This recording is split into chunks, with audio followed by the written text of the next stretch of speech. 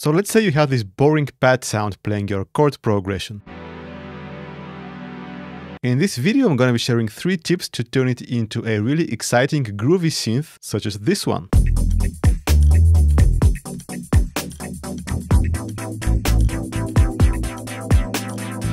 And stick around until the end for the bonus tip, which I think is probably the coolest one. So the first tip would be to use the arpeggiator and when you turn it on, it will break up your chord into single notes.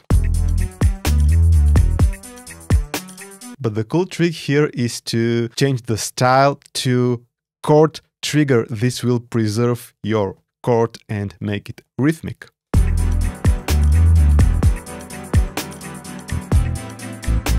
And you can turn down the gate to make it a bit more staccato. And if you open up your synth and turn down the release this can also help make shorter notes.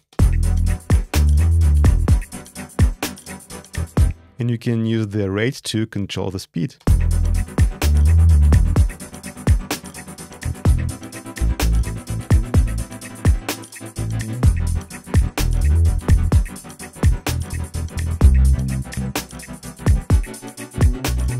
Just make sure to have a bit of an attack to your pad sound, otherwise if it's a really slow one, it may not work with such short note values in the arpeggiator. Tip number two, and with this one we're using the auto pan effect, and this one will also work on audio loops. You don't need to trigger your sounds via MIDI. So on the auto pan effect, we turn up the amount which will make the sound cycle from left to right. Press this note value button to sync it, to sync it up. I'm going to use a slower rate like 1 8th.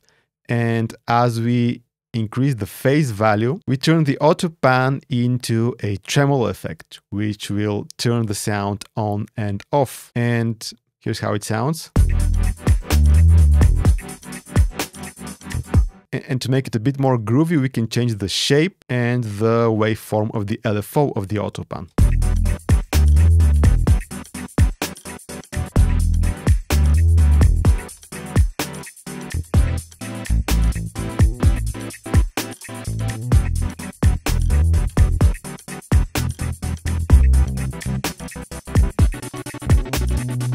By the way, this video is not sponsored, but make sure to check out my Ableton Live packs and sample packs from the link down in the description. A great way to support the channel and get some cool sound and effects for your productions. And talking about LFOs, the classic LFO on the auto filter is probably my favorite one. Lowering the frequency and increasing the resonance of the auto filter, increasing the amount on the LFO, syncing it up with the sequencer, choosing a note value, and there we go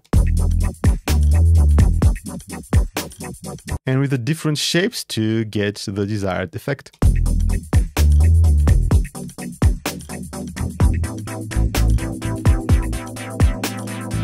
And now for the bonus tip, we're to turn off the LFO of the auto filter, set the amount to zero, go to the sidechain section, turn on the sidechain, choose our kick as a source and increase the envelope amount, which means that the kick will actually trigger our filter and open the filter as the kick hits.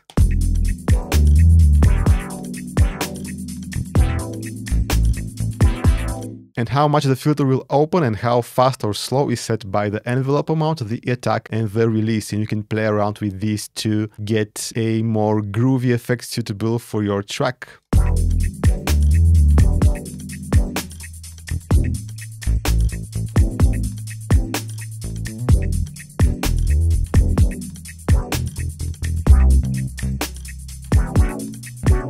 Okay, that's all for now. You might want to check out this video for more tips like this and see you in the next one.